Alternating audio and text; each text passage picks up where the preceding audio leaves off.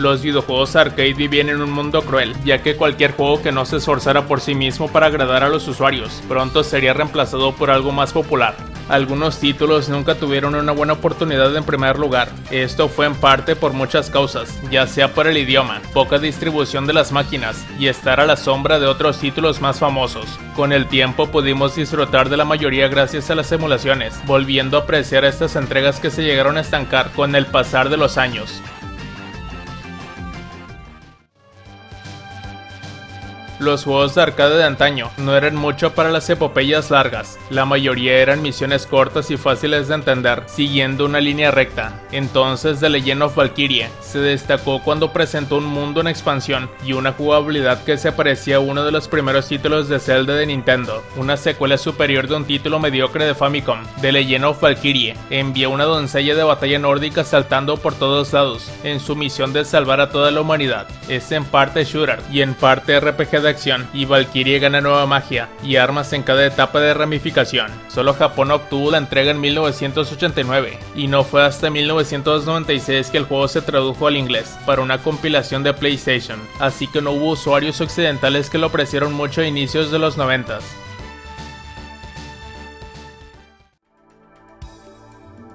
Elevator Action Returns mejora mucho la fórmula establecida por su antecesor, presentando una jugabilidad y una estrategia mucho más intensas en el uso de los ascensores, así como la inclusión de enemigos más inteligentes. Si bien se trata básicamente de atravesar edificios y recuperar información detrás de puertas marcadas, las etapas son más elaboradas y hay una gran cantidad de enemigos para matar y armas para recoger, como ametralladoras y bazucas. Si bien el Elevator Action original solo implicaba moverse por el nivel verticalmente hacia abajo. Este título le permite al jugador moverse en todas las direcciones, a menudo teniendo que retroceder horizontalmente a través de un nivel para llegar a una nueva área.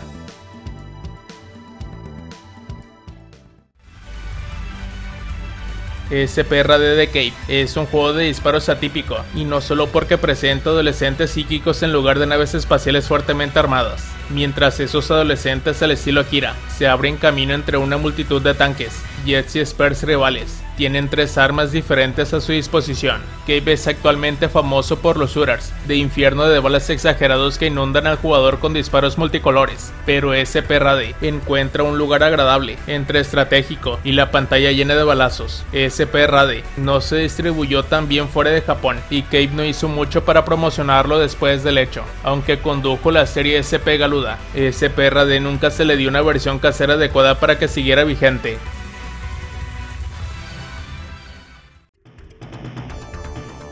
En la superficie Shadow Force se parece a los juegos de lucha como los Simpson y las Tortugas Ninja, pero esta entrega es un poco diferente en el estilo de combate. Te enfrentarás a la dirección de cada enemigo en un combate uno a uno y podrás bloquear ataques casi como el Super Double Dragon de la Super Nintendo. Puedes elegir uno de los cuatro personajes de Ninja Style y luego elegir el escenario que quieras. Lo que no gustó mucho de Shadow Force para el usuario casual fue la curva de dificultad. Este título es duro. Shadow Force nunca fue porteado, ni se le dio una secuela, nada, por lo que fue otro no olvidado en un montón de grandes juegos.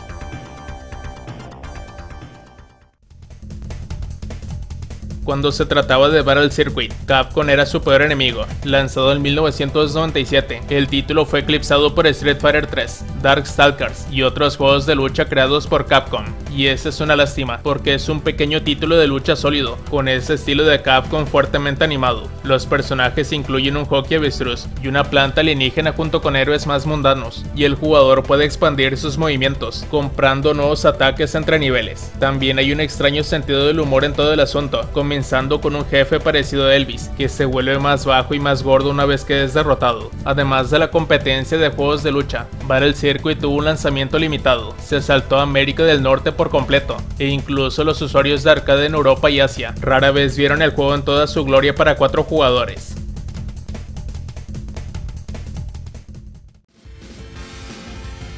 Guardians parece un juego de lucha genérico al principio. Se trata de una guerra callejera futurista librada por superhéroes, teniendo parecido al Capitán Comando, con un robot, un luchador, un monstruo, un ninja y sorprendentemente dos mujeres que no se usan tanto. Pero aquí está el gancho. Cada personaje tiene una impresionante lista de movimientos especiales, mejor que la mayoría de los luchadores uno a uno del día, y todos esos movimientos se pueden encadenar. Con ello se alivia gran parte de la repetición que a menudo arrastra juegos como este. Al igual que Undercover Guardians tuvo la mala suerte de ser un juego de pelea subdistribuido, en un momento en que todos querían imitaciones de Street Fighter, incluso fue eclipsado por algunos juegos de alto perfil de su propio género.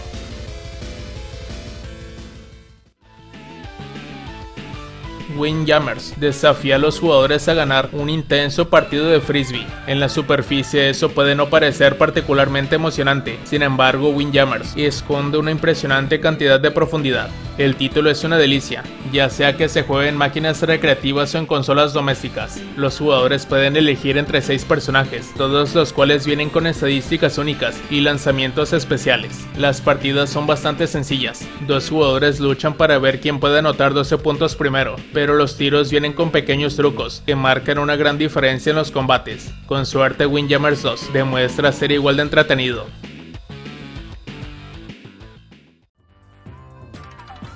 Cada persona tiene sus propias preferencias cuando se trata de juegos de lucha. Nadie afirmará que Darkstalkers retrata un juego de lucha realista. Parece una caricatura no solo en términos de gráficos, sino también en los movimientos y los personajes que los llevan a cabo. A diferencia de The King of Fighter o Fatal Fury, donde luchas contra otros humanos normales, Darkstalkers es una batalla de monstruos. Debido a que fue desarrollado por Capcom, tiene la misma sensación clásica y controles estrictos que cualquier juego de la serie Street Fighter. Darkstalkers puede ser oscuro para muchas personas, pero eso significa que no debe revisarse si se tiene la oportunidad.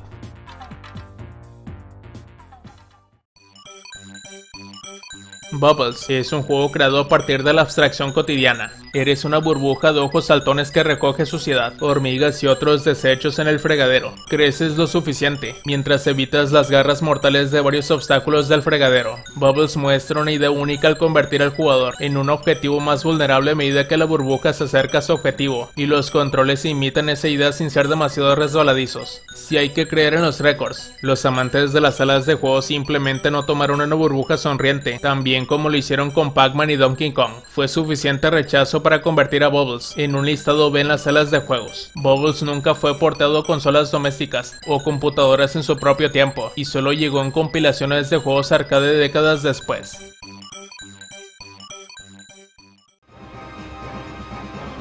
Los juegos de arcade a menudo son conocidos por su entretenido juego cooperativo que permite que varios jugadores se acurruquen estos en un solo gabinete. Este es particularmente el caso en los años 90, cuando las máquinas se volvieron más robustas y avanzadas. Los jugadores a menudo señalan a Gauntlet Legends como uno de los mejores ejemplos de un juego cooperativo que a la vez es rico y divertido. Por un lado el juego se adhiere a un estilo pick up and play de emoción hack and slash, incitando a los jugadores a luchar y matar innumerables malos, pero por otro lado Legends ofrece una cantidad sorprendente de profundidad, con su estilo de juego RPG y su progresión gratificante. Incluso implementa un sistema único de contraseñas y caracteres salvables. Esta ingeniosa característica fomenta el rastreo prolongado de mazmorras, en lugar de comenzar de nuevo regularmente.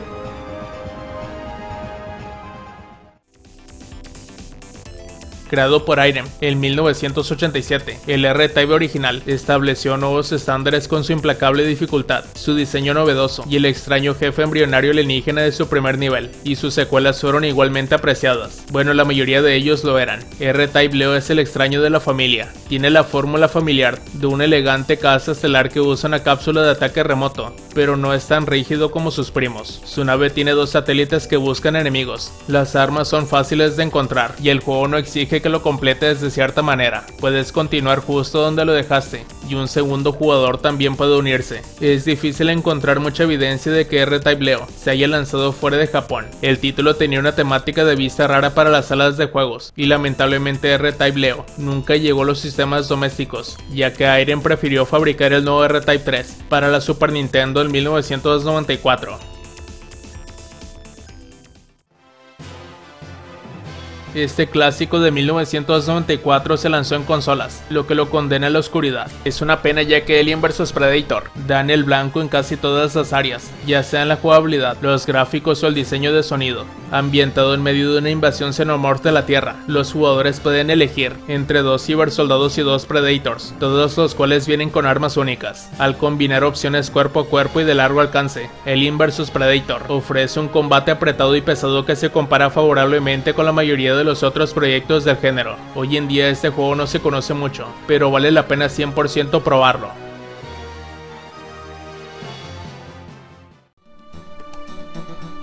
Como miembros de un equipo militar de élite encargado de descubrir secretos extraterrestres. Los jugadores se involucraron en emocionantes tiroteos con armas ligeras en medio de escenarios inmersivos de ciencia ficción. Área 51 permanece grabado en nuestra memoria como uno de los juegos de disparos sobre raíles definitorios que capturó la imaginación en las salas recreativas, en donde se pudo llegar a probar.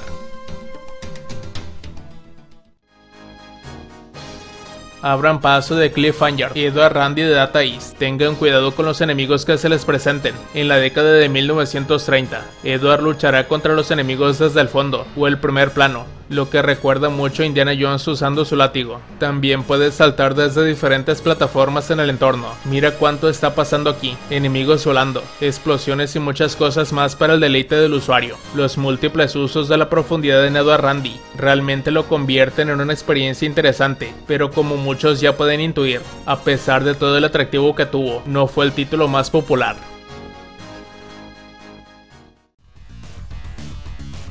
Este juego se abrió camino en los corazones de los jugadores de los 90, consolidándose como un clásico de todos los tiempos, con una acción llena de adrenalina y gráficos innovadores para su época. Este juego de disparos sobre rieles permitió a los usuarios ponerse en la piel de su cyberfuturista favorito. No es de extrañar que Terminator 2 continúe evocando nostalgia y emoción, incluso en el panorama de los juegos modernos de hoy. La razón por la que se agregó a la lista es porque en esa época los videojuegos de Terminator no gozaban de gran fama, por lo que este título, aunque de los mejores en su género, tendría ese motivo una espina que no lo haría despegar tanto.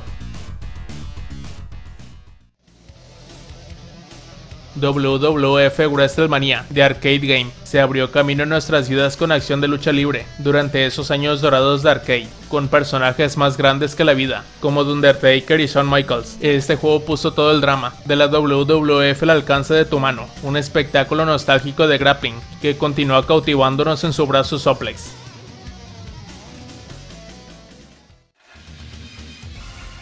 pandilleros genéricos y el robo de una novia, Konami hizo un trabajo fantástico con Violent Storm. Los sprites son enormes y no hubo ninguna desaceleración notable al pasar por el modo de un jugador. El diseño de niveles sí llegó a pecar de genérico, como cabría esperar de un beat'em pero los personajes son adecuados. Tienes a Wade, que claramente es una copia de Billy de Double Dragon. La banda sonora es tan óptima como pegadiza.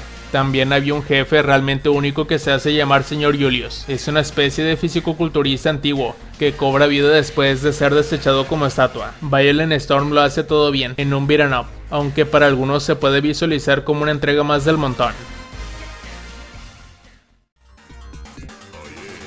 No es el Batman en el que estás pensando. Ninja Baseball Batman cuenta con cuatro jugadores de béisbol ninja robóticos que buscan recuerdos robados en un mundo donde casi todo está relacionado con el deporte, en lugar de punks callejeros. Los hombres murciélago golpean pelotas de béisbol, bates, guantes y equipo de receptor cyber vivos. Todo está empapado de deliciosas tonterías de dibujos animados y una banda sonora funky. En su sitio web se afirma que el juego se promocionó a medias, con menos de 50 unidades enviadas a las salas de juegos estadounidenses a Ninja Baseball Batman le fue mejor en Japón y Asia, pero no se hizo popular hasta la era moderna. Es una pena que su desarrollador Irem se haya dado por vencido con los juegos en estos días, o de lo contrario podríamos ver más de Ninja Baseball Batman.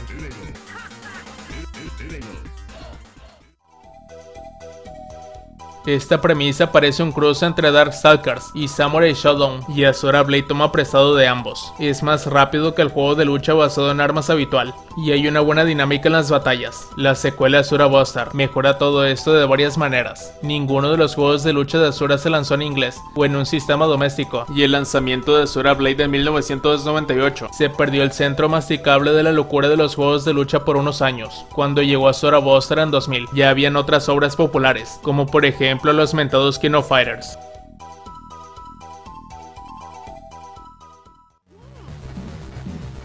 Inspirado en Tetris, Klax no ha dejado el mismo legado duradero que su predecesor espiritual, pero el juego de rompecabezas arcade sigue siendo un gran título por derecho propio. El título gira en torno a una cinta transportadora que transporta bloques de colores hacia cinco ranuras, y los jugadores deben dirigir el tráfico en consecuencia. El objetivo es apilar tres bloques del mismo color, haciéndolos desaparecer y otorgando puntos al jugador. Solo se pueden mantener 25 bloques al mismo tiempo, y deben distribuirse entre las ranuras. Klax es adictivo de una manera que solo unos pocos juegos de arcade seleccionados lo son, y el ciclo de juego central se mantuvo bien después de varias décadas. Desde el principio Gun Force 2 se parece mucho a otros juegos de acción de correr y disparar. Cada personaje usa dos pistolas al mismo tiempo, que disparan en diferentes ángulos. Muchos de los mismos efectos de sonido se reutilizaron más tarde en los juegos de Metal Slug. Incluso los elementos de diseño gráfico se comparten, hasta los pequeños detalles como explosiones y metralla. Naturalmente la raza se decantó por la popular saga de Metal Slug a la hora de elegir los mejores títulos de este género, pero Gun Force 2 sí que ofreció una experiencia que no le llegó a envidiar a nadie.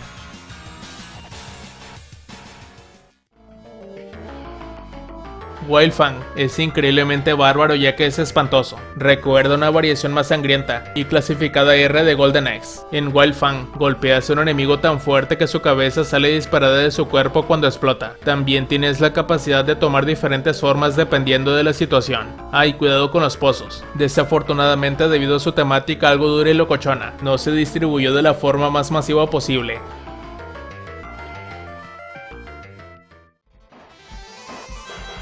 Undercover Cops. Encuentra a tres vigilantes limpiando una ciudad infestada de matones, y cada pieza de esa ciudad muestra los gráficos densos y mugrientos que los diseñadores de Irem hicieron también, y Undercover Cops tiene un montón de pequeños toques de juego. De hecho, incluso puedes matar al jefe del primer nivel, arrojándole un compactador de basura, y él puede hacer lo mismo contigo, porque lo justo es lo justo. Los juegos de lucha que robaron los reflectores no fueron el único problema al que se enfrentó Undercover Cops. También fue apresurado su lanzamiento en 1993 Irem lanzó una versión reducida del juego en los mercados occidentales, mientras que Japón obtuvo una edición mejorada con más movimientos, música y toques visuales. Más tarde Irem trató de compensarlo, lanzando la versión japonesa en el extranjero, como una versión de renovación alfa, pero a nadie ya le importó en ese momento.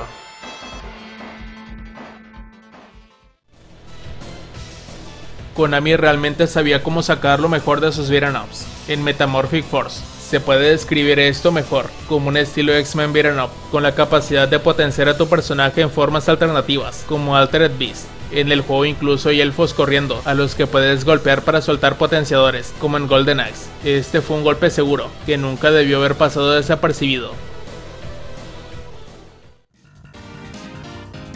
The Foxes no es realmente un juego de lucha, es mejor. En este juego de Namco, los jugadores se sumergen en una guerra entre asesinos de élite y sus batallas se desarrollan en enormes escenarios donde casi todo es un arma, ya sea un lanzacohetes, una caja o una piscina de tiburones hambrientos. Los niveles también son ingeniosos despliegues, donde los personajes toman paseos contra pesistas, todo bonis, pero una vez más, los juegos de lucha fueron el problema. Parecían demasiado abarcables cuando llegó The Foxes en 1994. Además, no fue un título apreciado de inmediato, ya que los personajes son pequeños y la perspectiva del zoom es confusa al principio, pero hay mucho debajo de esa superficie.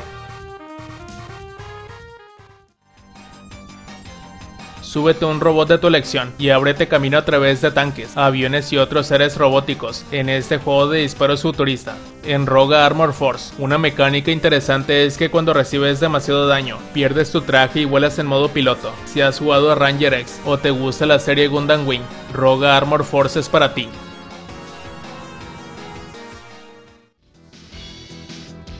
Night Slashers The Data East es un beat'em up que tiene el tema, en el que puedes jugar como uno de los tres cazadores de zombies. Golpea, patea y ábrete camino a través de hombres lobo, momias, vampiros e incluso la propia muerte, con el fin de erradicar las monstruosidades merodeadoras. Sin embargo, lo que lo hace único es su escenario de terror cursi. A pesar de que tiene lugar en tiempos más modernos, es más o menos lo más cerca que estarás de ver a Castlevania en forma de beat'em up. Y bueno amigos, esto ha sido todo. ¿A ti qué te parecieron estos juegos del arcade? ¿Cuáles se te hicieron los más infravalorados?